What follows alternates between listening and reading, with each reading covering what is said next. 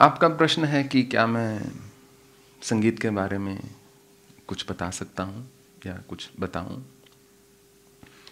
देखिए, संगीत मेरा क्षेत्र नहीं है। मैं केवल ट्विंकल ट्विंकल लिटिल स्टार बजाता हूँ। परंतु आपने पूछा है, इस आसन की एक मर्यादा है।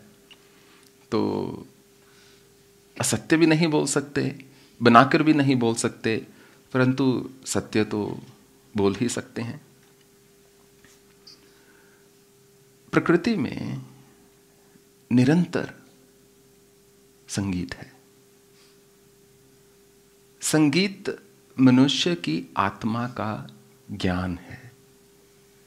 चाहे आपको समझ में आए या ना आए, पर स्वर या सुर कहा जाए और ताल ऐसा है जो सीधा आपकी आत्मा तक पहुँचती है। जो आधुनिक संगीत है, उसको जब व्यक्ति सुनता है तो अपने पाँव मारता है ज़ोर ज़ोर से।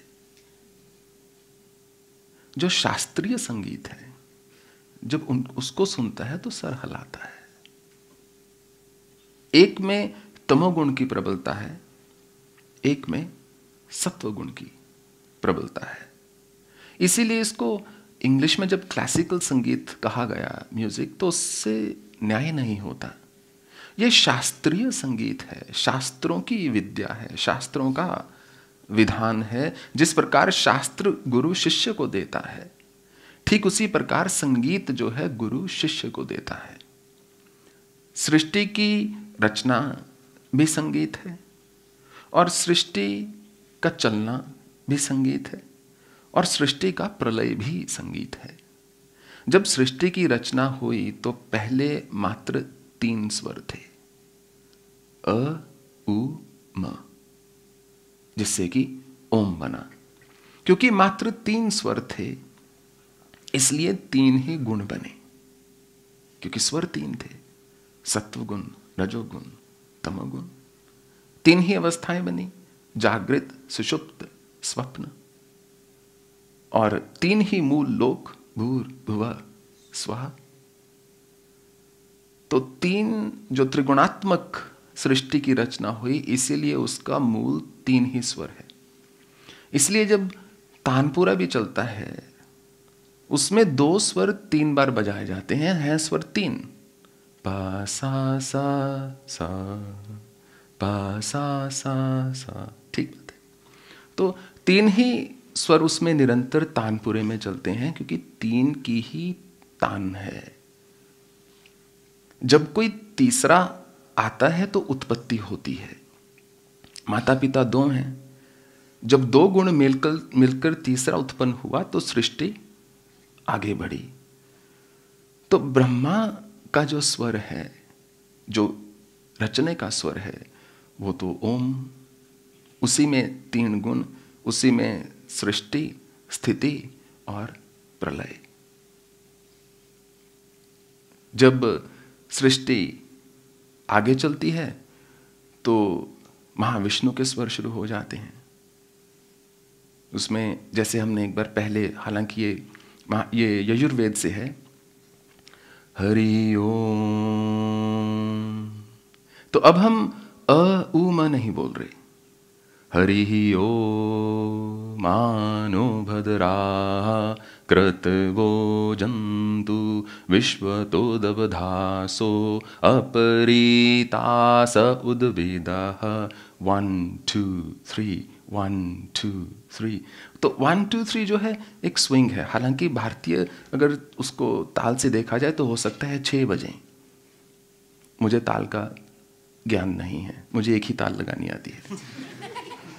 बाकी ताल का मुझे नहीं मालूम।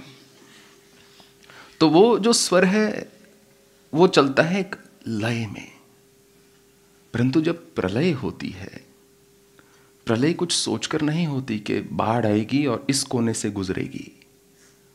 भूकंप आएगा और यहाँ पर दरार पड़ेगी। अग्नि जो है जलाकर खाक कर देगी और इस घर को छोड़ देगी। इसलिए जो शिव का तांडव है, वो एक योगी का तांडव है। वो उसमें सुर और ताल अपना ही है। हालाँकि महेश्वर सूत्र हैं, उनको गाया जा सकता है, गाने वाले उनको गाते भी हैं। परंतु जो डमरू है, उसमें केवल दो ही धागे बंधे हुए हैं। एक ही धागा है, दोनों और पहुँचा हुआ है जो। एक धागा जो सिरा बंधा हुआ है, एक धागा जो खुला हुआ है।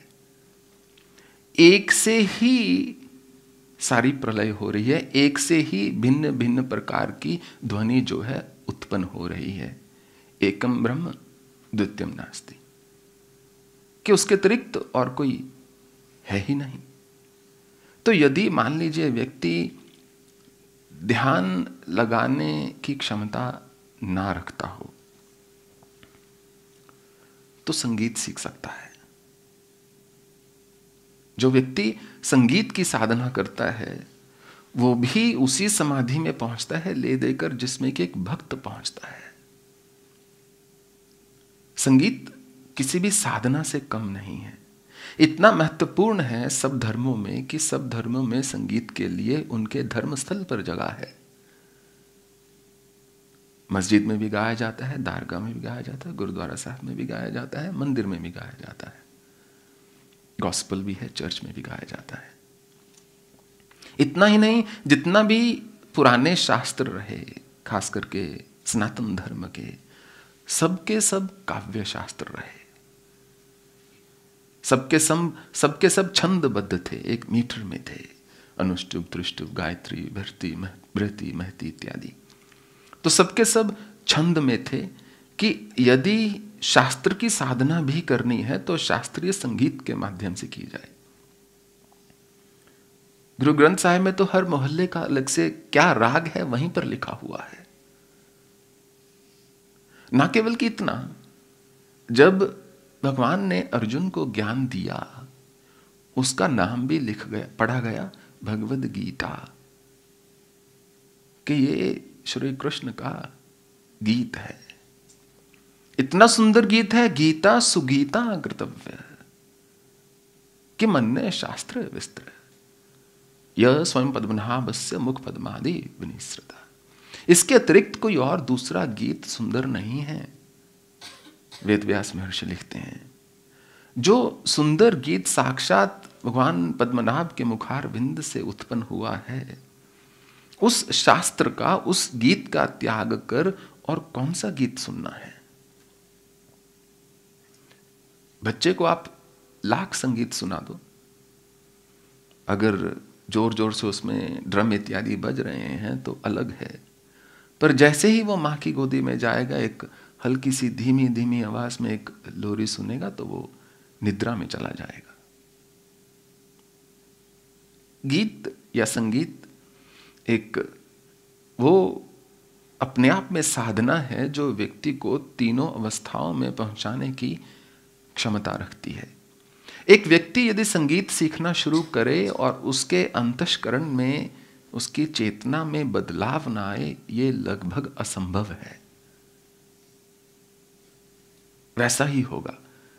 थोड़ा सा इस विषय से हटकर बोल रहा हूँ। एक लेटेस्ट रिसर्च हुई है रीसेंट नॉट नेसेसरीली लेटेस्ट कि जो ऑटिस्टिक बच्चे होते हैं, उनको यदि संगीत के माध्यम से कुछ कहा जाता है तो देर तक उनके मन में रुकती है वो चीज़।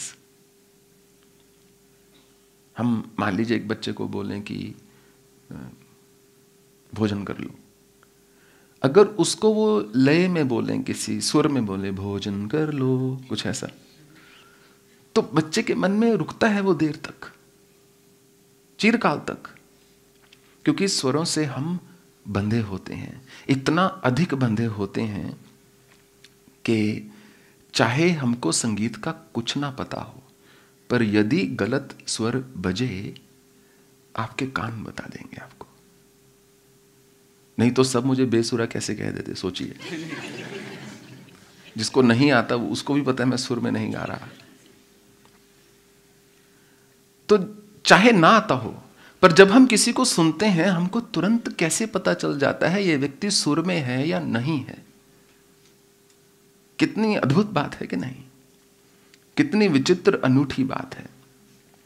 और सबको एक लगाव होता है पंचम स्वर से।